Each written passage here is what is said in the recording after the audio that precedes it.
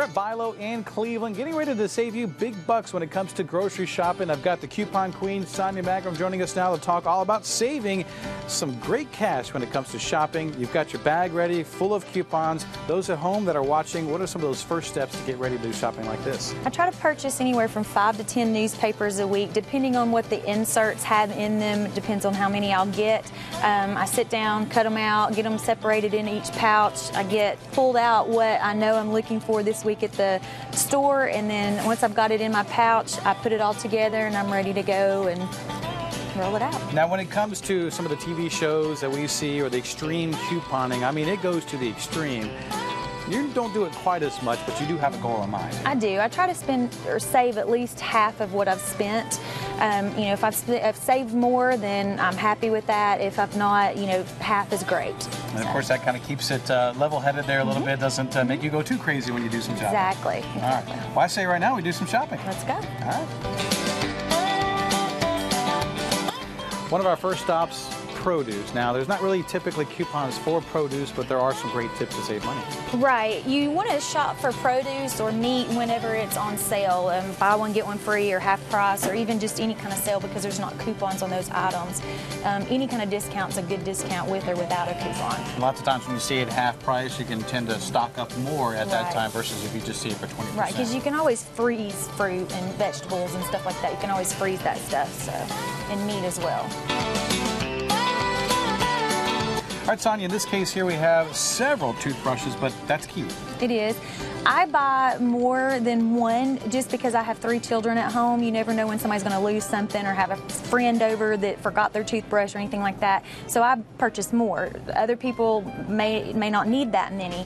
But the point behind this is is to shop based on the sales, not on what you need at the time. And there's going to be some cases where you may actually spend quite a bit at the very beginning of this, mm -hmm. but mm-hmm. once you have five toothbrushes, -hmm. maybe like myself who only has one child, mm -hmm. I may not need another toothbrush mm-hmm. again for two years. Right. All right, well, I know we still have some more shopping to do, so let's keep going. All right. Look at that right there. All right, so I notice here we found a closeout deal, and that's sort of key. And that's one reason why you bring your bag of all your coupons. Right. You never know when you're going to come across a closeout sale in the store, so I bring everything in. That way, if I am on the health and beauty aisle and Dove is on clearance for $1.89, I can pull out my Dove coupons and rack up on some Dove soap. And just like the toothbrushes we did moments mm-hmm. ago, you can buy multiples of this mm-hmm. because really they don't go bad. Right. All right, let's continue shopping. All right. Now, Sonya, over here in the frozen food section. Found a great deal on some Perdue chicken by going online and getting coupons. You have some tips for those that want to go online and find great savings? I go to a couple different websites. I go to Time to Save and Southern Savers. Uh, Time to Save is here locally in town. The Southern Savers is out of town, so you might find a little bit of variances.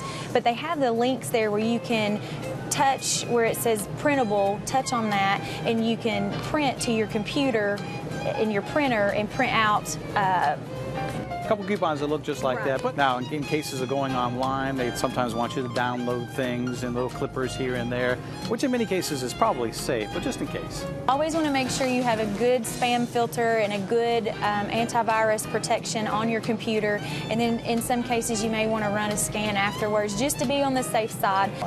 Now, in some cases, you will only find these coupons online and not in your local newspaper, but there's some big savings there. Right. So you just kind of recommend going to, to, the website anyway and downloading those coupons. Right. All right. Well, I know we have a buggy full here. We're going to toss these in, and I think the best part and the fun part is checking out, seeing how much we save. That's right.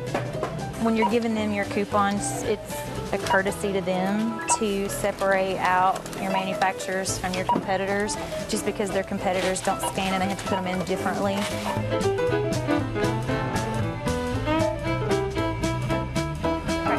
$28.99 before bonus card and coupons. We're going to hand this to her and see what we get to.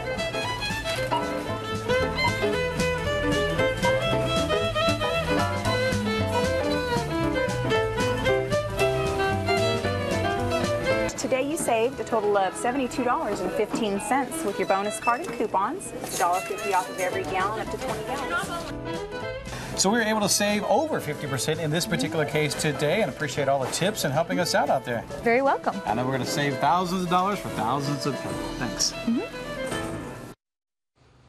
All right, some great tips there. And of course, if you have any questions, you're more than welcome to contact Sonya. There's her email address on the screen, and you know she'll be glad to answer any questions that you may have. And happy couponing, my friends.